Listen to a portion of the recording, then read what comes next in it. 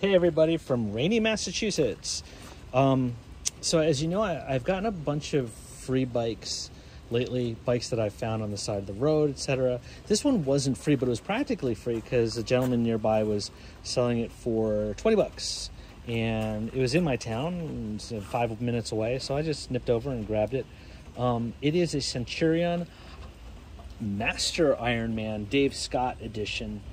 And you know, we talk a lot about like how um, Univegas are underrated. I think Centurions are underrated in the sense that most of the ones that I've seen are pretty kind of like middle level to high end.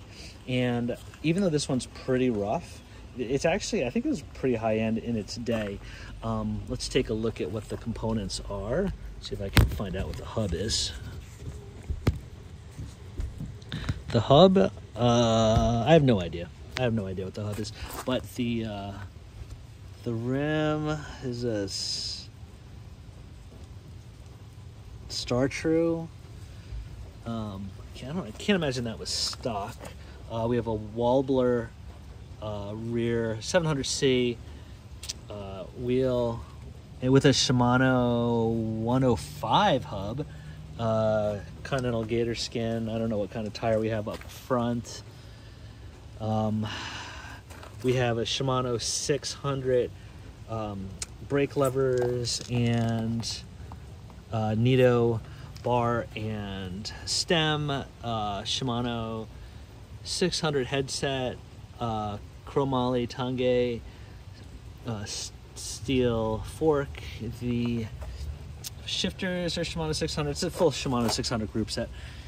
Um, the pedals are not; those are dimensions. I think somebody wanted to swap in uh, pedals, uh, Shimano 600 rear derailleur, Shimano 600 front, and um, you can see that he was being pretty resourceful about the seat.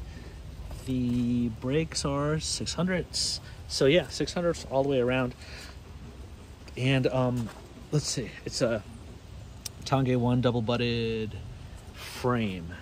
Um, nice small bike, pretty rough cosmetically. It's got a Biopace chain ring, but I think it's pretty awesome. And honestly, just for the parts alone, it's good. There's somebody selling a an old Super Course in my size, and I was kind of, and it's just a frame in the next town over, and I was thinking of getting that and just swapping everything over, um, but we'll see.